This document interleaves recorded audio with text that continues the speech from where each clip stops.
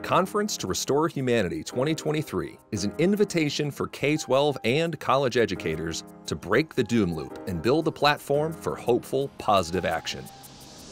Our conference is designed around the accessibility, sustainability, and affordability of virtual learning, while engaging participants in a classroom environment that models the same progressive pedagogy we value with students.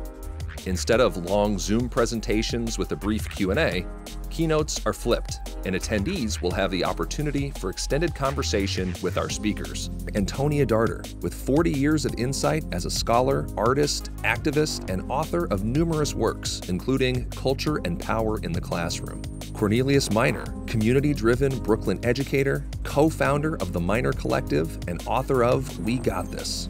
Jose Luis Vilson, New York City educator, co founder and executive director of Educolor, and author of This Is Not a Test, and Iowa WTF, coalition of young people fighting discriminatory legislation through advocacy, activism, and civic engagement. And instead of back to back online workshops, we are offering asynchronous learning tracks where you can engage with the content and the community at any time on topics like environmental education for social impact, applying game design to education, and anti racist universal design for learning.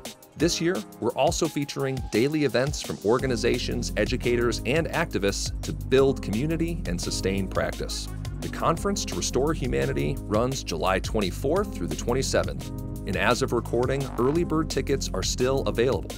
See our website, humanrestorationproject.org, for more information. And let's restore humanity together.